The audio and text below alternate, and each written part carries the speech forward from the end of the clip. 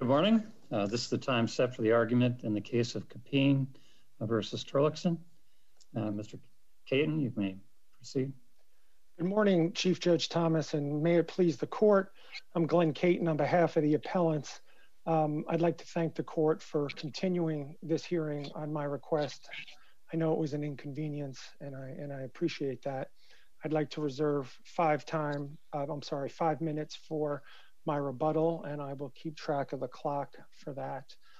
Um, this is a case about um, Hindu schoolchildren in the California public schools, and um, when sixth and seventh grade children go to school, they learn about history and social science, including uh, the history of world religions. Um, and everything that they learn is grounded in the standards and framework, um, both of which we challenge, and both of which um, are developed by the California State Board of Education and are approved by the SBE. Now, in the depiction of religion in the standards and framework, only Hindu children Uh, learn from a curriculum that disparages their faith. Um, I would like to invite the court's uh, attention to a part of the record, um, which is ER 2644 through 2646, that we filed in connection with our opposition to uh, the SBE's motion to dismiss. Um, and this is, of course, at the pleading stage, Um, and the court took judicial notice of the entirety of the standards and the framework.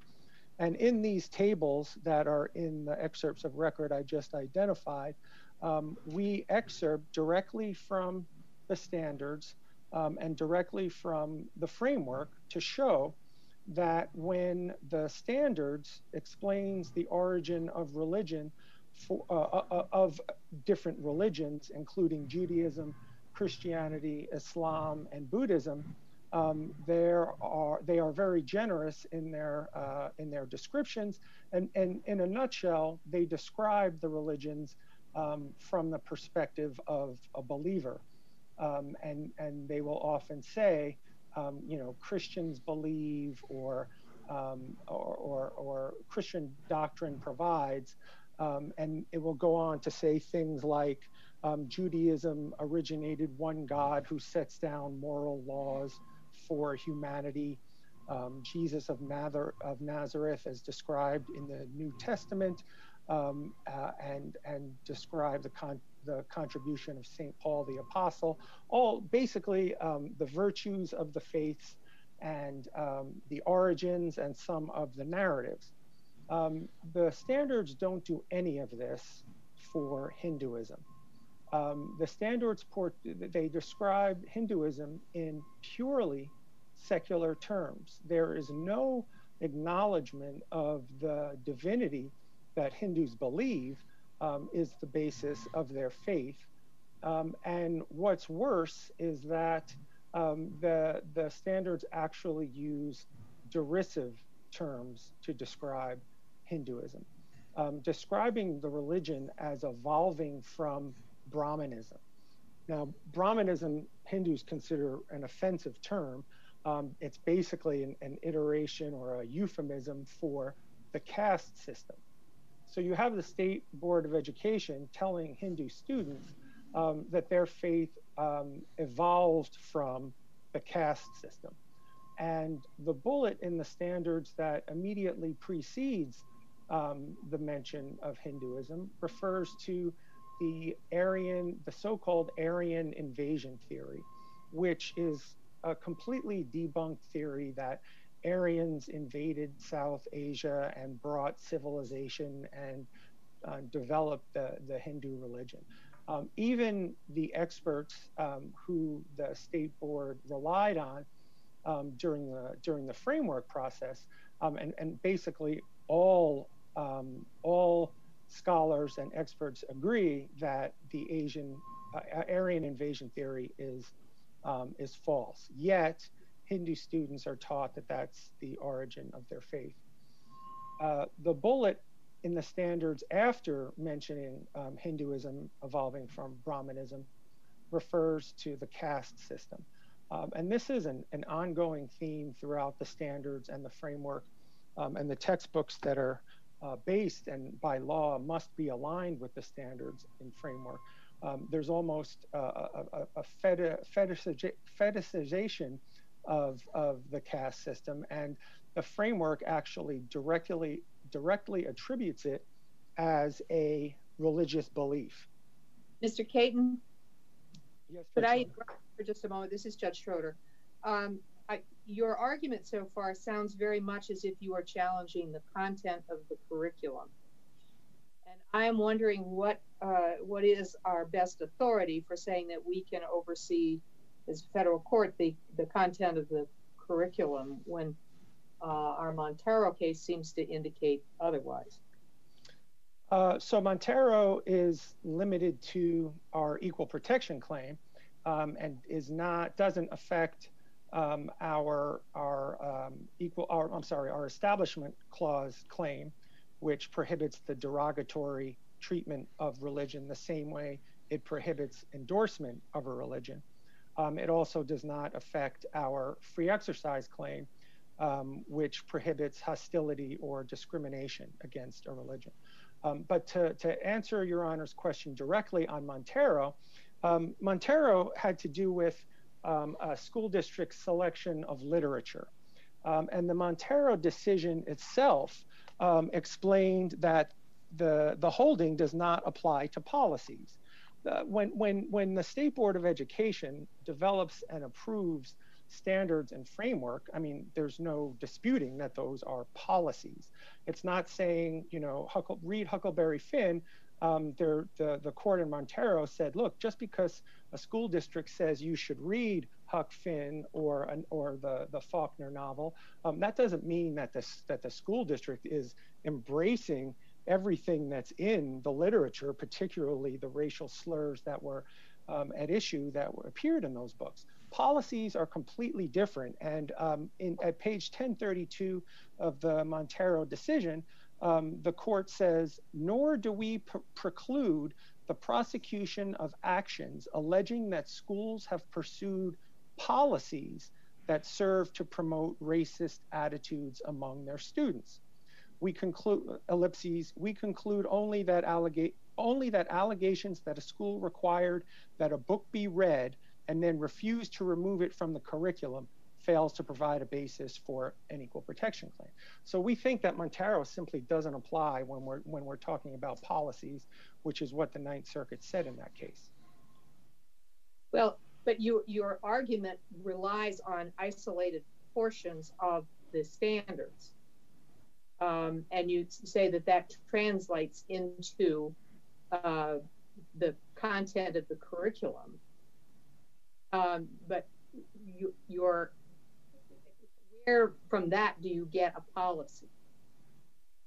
The standards and the framework um, are in in, in our view and um, I don't I don't believe the state has contested that they are policies.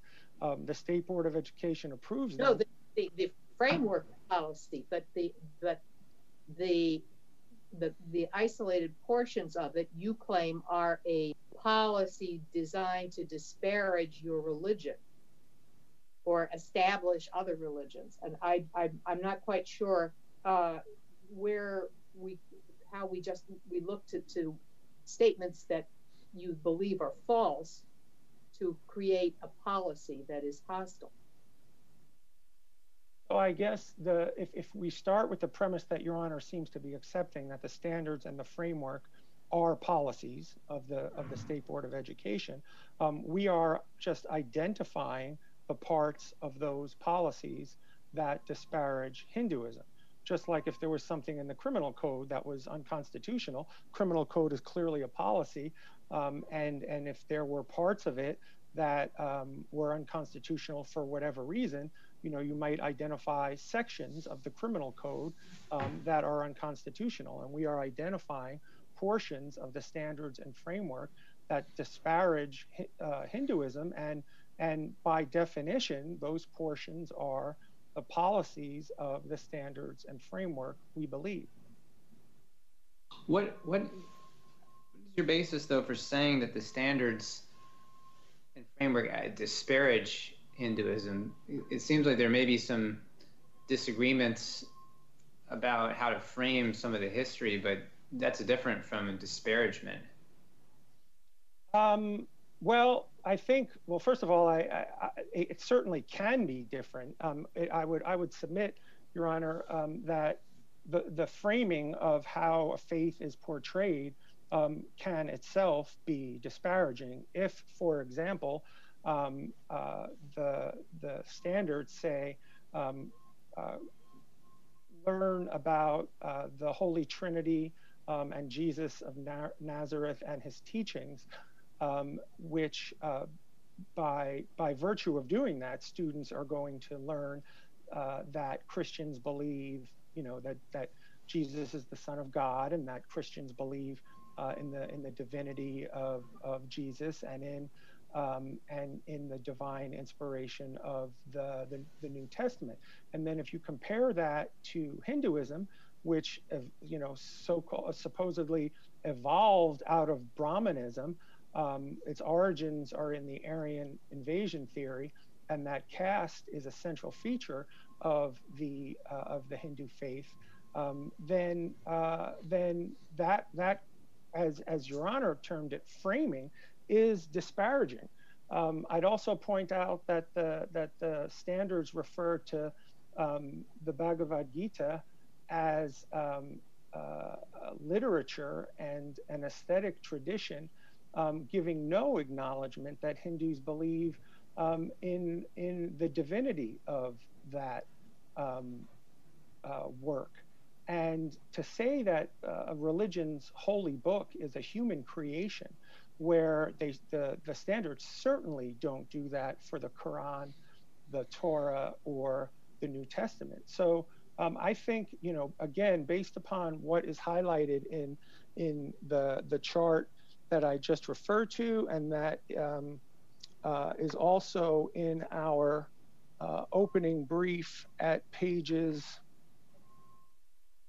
28 through 30, um, we, I mean, and the complaint is just filled with the details of, the derogatory treatment of Hinduism um, in violation of the SBE's own policies, I should add, when the SB, SBE does not violate its policies about not disparaging religion for any other faith. Um, I mean, the complaint is very detailed in the ways in which the standards and the framework and the adoption of the framework were derogatory towards um, towards Hinduism, and certainly for the Equal Protection Clause claim and the free exercise claim, which the court dismissed, saying that it's implausible that there are viable claims there, um, that, that, that, that the district court was wrong as a matter of law, and that we adequately pled that, that the disparagement in uh, in the standards and the framework support an equal protection violation and a free exercise violation, um, and we should have been permitted to develop those claims.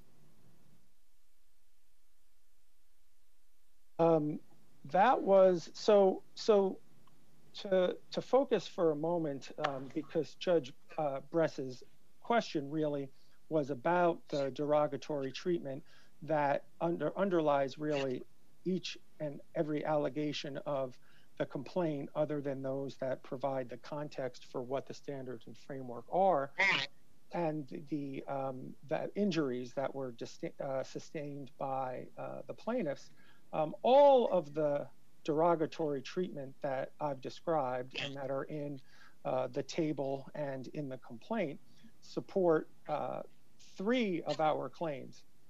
The equal protection claim and the free exercise claim, which we believe are are most ripe for reversal by this court because how is anybody's how is anybody's free exercise of religion being impeded by the standards or the framework? So that, Your Honor, uh, you've identified a major um, discrepancy between our um, reading of the recent jurisprudence on the free exercise clause uh, versus the states. And um, the evolution of the Equal Protection Clause from Sherbert to Employment Division to Lukumi Babalu, and then the recent string of cases is uh, interesting, and I'm happy to get into as much detail on that as Your Honor would find helpful. But the long and the short of it is that um, after the Employment Division overturned the Sherbert test, um, the Supreme Court has never held or found that there has to be interference with an actual religious practice. You know, the traditional kind of, you know, Jews can't wear a yarmulke, a Muslim woman can't wear a hijab, you can't pray, like those are obviously the very classic interferences that we think of when we think of the um when we think of the Free Exercise Clause. But um but in the in the Trinity Lutheran case, in the Masterpiece um, Cake Shop case, and in the um, Espinoza case, um, the court uh, made clear that you don't have to actually interfere with a religious practice. That discrimination against a religion, hostility towards a religion, and these are the key things that the court based its free exercise holdings on, is sufficient to violate the uh, Establishment Clause. Well, let me just ask you one more question because your time is is running down. Uh, what is the relief that you are asking for? Uh, well, we're, in the simplest terms, we're asking for the court to reverse uh, the dismissal of our claims and reverse the summary judgment. No, no, um, no. One injunction of some sort. Oh, I I think it would make most sense for the court to Um, simply reverse, um, and I would assume that in a written opinion, the court will explain what aspects of the standards and framework are unconstitutional, which we submit, we mapped out in our briefs, um, and then the Board of Education can can correct the unconstitutional portions of those documents. And I don't think the district court would ordinarily craft an injunction. That's the district court's province. It's up to this court, I would submit, um, to find that the district court got it wrong and explain why, um, and then the district court takes it from there. Thank you, counsel. Thank you. Prouty? Your Honors, um, Tom Prouty for the State Appellees. I'll begin by considering some big picture points that apply across all of the different issues.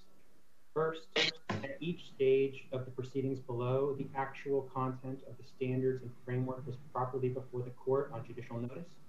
So even at the motion to dismiss stage, we do not accept plaintiff's characterizations. We look to the actual content. It's clear from Judge Breyer's rulings that he fully digested the standards and the framework, but he also said that he did. Docket 117 below says, quote, the court has reviewed the standards and the framework in their entirety. Reasonable people that do the same can see that the documents approach everything from a secular historical perspective. They discuss problematic facts about religions other than Hinduism. There is nothing overtly hostile or clearly false about Hinduism. They highlight several positive things about Hinduism, and the framework contains a seven-page appendix that is specifically devoted to ensuring that local educators treat all religions from a neutral and constitutional manner. Number two, the allegation that a person or a thing is anti-Hindu is a textbook example of a conclusion that is entitled to no weight. Yet it is remarkable how much of the complaint is dependent on a court's blind acceptance that a group of people or certain public comments were anti-Hindu just because plaintiffs said so. The complaint referred to the South Asia faculty group as a collection of anti-Hindu professors. There weren't facts to support that. They talked about how public comments that those professors submitted were patently anti-Hindu, but they didn't attach the public comments, which did get into the record through summary judgment in the supplemental excerpts at tabs 18 through 21. A fair reading of those shows that the professors were trying to make the framework more accurate. Number three, well, let me, this is a good time to point out that Judge Breyer in a summary judgment ruling used the word misleading three different times.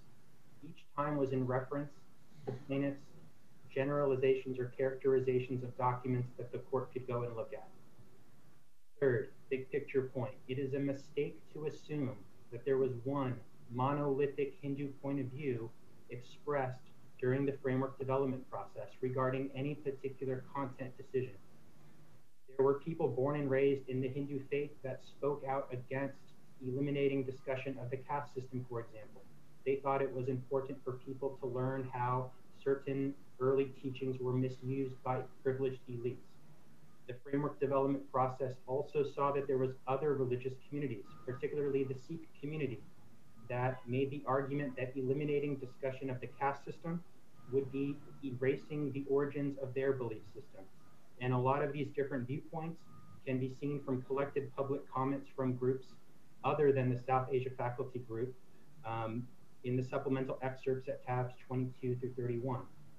Now moving on to content. Plaintiffs' complaint about alleged anti-Hindu content can be broken down into three different areas. The caste system, this Aryan invasion theory, and the notion that the documents fail to recognize that Hindus believe in the divinity of their religion. With respect to the treatment of the caste system, there are several important points about the framework's treatment of caste that cannot genuinely be disputed. First, the framework does not say that the ancient Indian social hierarchy was bad or strange or unfair or any other negative value judgment. In fact, the closest thing that the framework does to making a value judgment is to say that it, quote, provided social stability and gave an identity to each community. Number two, the framework says that over the centuries, the caste system grew more rigid.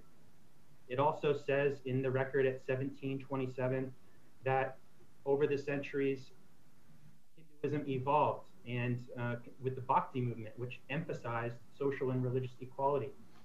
So at the same time that the framework says that the earliest stages of the caste system had some connection to early Hindu teachings, it also says that over the same centuries that it was growing more rigid, Hinduism was emphasizing so social equality. So it actually presents Hinduism as a relatively progressive force. Third, the framework talks about caste, it starts off the whole conversation, as in all early civilizations, and it stresses the point that this was not strange and it was the norm in these ancient civilizations to have social hierarchies. Finally, the framework does note that the Vedas describe four main social categories known as varnas, and it, it parenthetically describes these as priests, kings and warriors, merchants, artisans, and farmers, and finally peasants and laborers. However, plaintiffs have not alleged that this is false in any way. Mr. Prouty, I, I understand, but um, may I ask you specifically about this, uh, the Aryan invasion uh, passage? As I understand it, there was a good deal of um, input, there was notice and comment, there was consultation during the development of the standards and the guidelines. Um, why is that? Was there were there comments received that that sh- that that should not be a part of the uh, framework or the standards? There's nothing in the record about the development of the standards, and the complaint doesn't challenge the development of the standards. The standards are from 1998, and the standards has one bullet point that says, discuss the significance of Aryan invasion. Now, 20 years later, the framework is being developed. And, by the way, the standards from 19, 1998 say they, don't not, they do not exist in isolation. They must be read consistent with the revised curriculum framework. The framework makes no mention of Aryan or invasion. Um, it does talk about that there's a competing competing theories about how people speaking certain languages many thousands of years ago moved around the planet. And um, and Judge Breyer dealt with this, this summary judgment ruling at 21 to 23 in the record. And he basically found that um, there may be groups that have a social political agenda that would be furthered by establishing that people speaking a certain language came into India from the north or more from the south. But it doesn't say anything about disparaging or endorsing religion. Um, plaintiffs have just said um, the Aryan invasion theory kind of ties in somehow with the origin of Hinduism, but it doesn't explain how. And, and the framework discusses competing theories. So there's nothing there that is um, denigrating Hinduism. You, ha- you have to kind of buy into the concept that um, it would be better for some people's agenda for us to show that certain people came from the north instead of the south. But that's not the type of agenda that the establishment clause is designed to protect. Well, my but my question was whether or not during any of the notice and comment and the uh, development uh, uh, phase that anyone criticized uh, the uh, reference to that. I believe that um, there was 10,000 plus public comments, and there was a lot of viewpoints from different things. I believe that a lot of the professors were saying that at one point in time, there was a thought, there was this um, Indus Valley civilization that kind of predates the Vedic civilization. And that civilization seemed to disappear. And at one point in time, there was a thought that they disappeared through people coming in and, and kind of invading and conquering. And, um, and, and, and now it seems that people have, have thought, well, maybe they, they, they, the civilization disappeared through things like rivers drying up, environmental factors, and that it wasn't people coming in and invading. Um, and there's, um, there's, there's a lot of comments about um, uh, wanting to kind of create continuation from that civilization to the early one. And, and you can find a lot of rabbit holes in people's passionate public comments about that. But um, there, it is the majority theory, as far as I could tell from the, comments, that there was a migration, not an invasion. So people speaking Indic languages did come in from the north, um, but it wasn't coming in and, conquering, it was coming in and intermixing.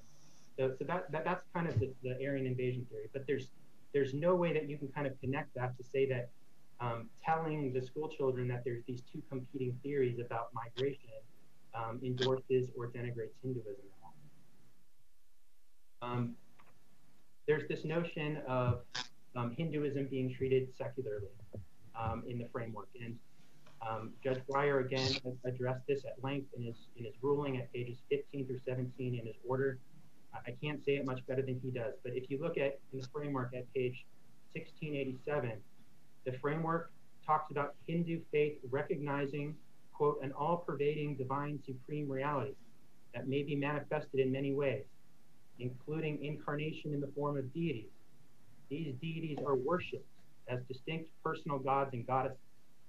Now, I think that it is reasonably and fairly implied, if not expressly conveyed by definition, that people that worship divine supreme de deities actually believe in those deities. It's unclear exactly what more is wanted. Um, it would be totally unnecessary and would sound condescending to my ears if the framework were to add Hindus believe that these deities they worship actually exist. Um, the framework does also talk about ancient Hindu sages, such as um, Valmiki and Vyasa. That's on page 1687 of the framework. These are legendary Hindu sages, and it is believed in that faith that they received um, the, the word from this all pervading divine supreme reality. And children will get to learn about that. The framework is not a curriculum, and it says so. It is not the end all be all, it is the beginning. And it repeatedly stresses that local educators work with students with a guiding principle of student inquiry to look at primary source materials, learn the facts, and of course, the educators will do that consistent with the appendix that stresses that religion must be treated carefully and neutrally. Now, turning to the claims, most were dismissed for failure to state a claim. There is one quick procedural point to note here. Plaintiffs, in their brief, whether you look at the table of contents, the issues, or any word in your brief, they never challenged the issue that when the claims were dismissed, they should have had a chance to replead them. And if they did, I could have cited a bunch of cases in my brief that of case law that touches on that. But one case that does touch on that a bit is the Fields opinion, which both both parties cited for the stuff. Can I ask a, can I ask a counsel just a, little bit unrelated question? Is there any relevance uh, what is the relevance, if any, of the prior CAPEEM litigation in the Eastern District of California? the, prior litigation challenged a completely different process, and that is the state board's adoption of instructional materials. These are textbooks that are drafted by third-party publishers, uh, and this happened a decade ago under an earlier framework that was um, adopted in 2005. Um, would have played a part in this case because CAPEEM, the lead plaintiff in this case, didn't challenge the standards when they sued a decade ago. And so I would have had a, good claim preclusion defense if it would have come to that in this case. But it's the, standards were there because they were from 1998, but they didn't challenge the standards. They challenged textbooks drafted by third parties, and the, district court in that case held on summary judgment that the establishment clause was not violated. It, did address equal protection, but Judge Breyer below distinguished that case because in that case, the plaintiffs were alleging that there were different procedural rules and deadlines and processes that were put to bear on people supporting uh, Hindu edits and whatnot. And Judge Breyer said there's no allegations like that in this case. So would, you address, would you address the exclusion of Dr. Josie's report? That's correct. So um, now on summary judgment, there are several grounds for dismissing um, the expert report on summary judgment. And Judge Breyer's ruling specifically referred to the evidentiary objections that weren't in the excerpts, but they are in the supplemental excerpts at pages 3 through 6, 9 through 10, 15 through 17. There was not just one or two grounds for objections, there was four or five. Now, one of them is the relevancy prong. Judge, Judge Breyer's the gatekeeper, and this court's 1994 Brown decision affirmed the district court's determination that expert testimony is essentially irrelevant to the primary effect inquiry. And that's in the Brown decision at cite page 1382. There are several other cases from across the country, including from circuit courts, that agree with that approach. And those are cited in the supplemental excerpts at page 17. There's also the reliability prong, a completely independent basis for Judge Breyer to have not abusing his discretion excluded the report. And that requires the plaintiffs to, they have the burden of proving that this isn't subjective um, opinion, that, that this is objective opinions that are based on scientific and reliable data. In this case, the expert whose educational degrees were not in history, let alone ancient Indian history, said that she read parts of the standards, she read parts of the framework, and yeah, she agrees with the complaint that they're offensive and discriminatory. She cited a whole bunch of articles written by other people, including several that were written by members of the South Asia faculty group, and those were never made part of the summary judgment record. So that led to another basis for excluding the report based off this, this court's 1999 decision in re citric acid litigation, which is discussed in the supplemental excerpts on page five in the evidentiary objections, which basically say that if an expert is going to rely on um, facts um, for the for the truth of the matter, essentially, those facts fr from these um, extraneous sources have to be, be part of the summary judgment record. And the, rationale for that is basically you need to present the facts and data on, on which you're basing your opinion. And if you don't put that stuff into the summary judgment record, the, testimony is inherently unreliable. There was also another uh, ground about this issue of the expert report is not sworn under penalty of perjury. It was put in in the first instance, and then at the end of the summary judgment briefing, there was a reply declaration, and it said, um, I would attest to the contents of the report. It doesn't say what she would attest to about the contents it, for, for all we know, it could mean, yeah, that's the introduction part. Yeah, that's that's this part that talks about the framework. She never states under penalty of perjury that the opinions or the conclusions or the facts on which she bases them are true. And so Judge Breyer pointed that out as well. Um, so again, the, the, the, standard is abuse of discretion there, and Judge Breyer didn't abuse his discretion. For the free exercise clause, there's as near universal agreement in the legal community as there could be that in 1990, when the Supreme Court decided the Employment Division Smith case, it was making establishing a free exercise clause much harder. That's why in 1993, Congress passed the Religious Restoration Freedom uh, Act, the Religious Freedom Restoration Act. And the very first element in there is a substantial burden. It's always taken for granted that there must be a burden because that's tied to the language of the clause itself, which bars laws prohibiting the free exercise of religion.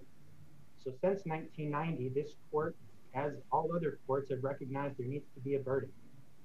Um, this we cited the Jones opinion from 2015. There's several others. If you just um, you know type in substantial burden in this circuit, you'll find decisions from Uh, members of this panel in recent years that are continuing to apply the substantial burden. Would you address the Trinity Lutheran and uh, Masterpiece Cakeshop cases?